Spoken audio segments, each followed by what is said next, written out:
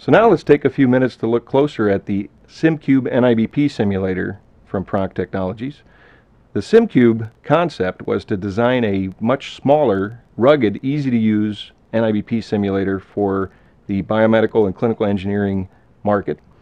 The SimCube in fact was designed into an eighth inch extruded aluminum enclosure so that the SimCube would withstand the hospital environment as well as withstand the 50 drops that we do on all of our products onto a hard surface without failing.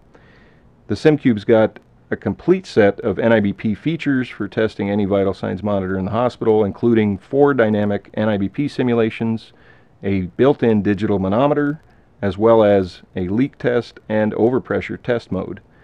The SimCube also has static and dynamic invasive pressures and has some limited ECG and respiration simulations as well. Now let's spend a little time focusing on the mechanism that was designed into the SimCube that allowed us to make the world's smallest NIBP tester on the market.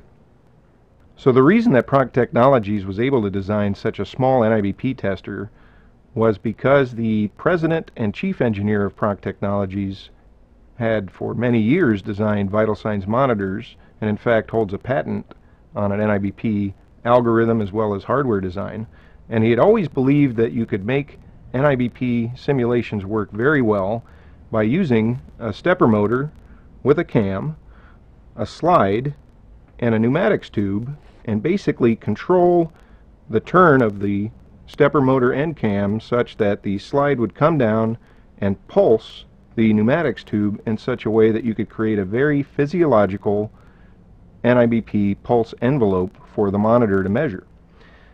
So let's go ahead and start an NIBP reading and I'll show you how this mechanism works. If we watch here, right now the NIBP monitor is inflating the cuff and the SimCube is responding to the changing cuff pressure. As that pressure rises, you'll see that these pulses going across the pneumatics tube are very small because the cuff pressure is higher than the systolic pressure. As that cuff pressure decreases, you can see that we're actually varying these pulse shapes and sizes depending on where that cuff pressure is, thereby simulating a systolic, mean, and diastolic pulse shape and size. So now that we've looked at the mechanism that drives the SimCube, let's take a quick look at the operation of the SimCube.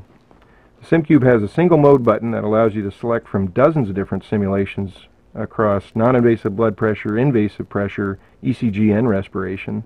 And to select those different simulations, you just press this mode button and you get different LEDs to light up on the front of the SimCube telling you what simulation you're getting at that time. The SimCube right now is attached to what we call a T-adapter that allows you to connect the cuff and the hose from the monitor to the SimCube for simulations of non-invasive blood pressure. The SimCube does not require you to wrap the cuff around cylinders or mandrels or any canisters to get the shape and size of an arm. We actually patented what we call the cuff jacket, which allows you to slide a cuff easily into the cuff jacket to control the cuff volume during NIBP simulations. So the SimCube will operate on either battery power or AC comes with a four-year parts and labor warranty, and there are over 4,000 SimCubes in the field today. Now that we've covered the SimCube, let's spend a few minutes talking about the OXSIM SpO2 simulator.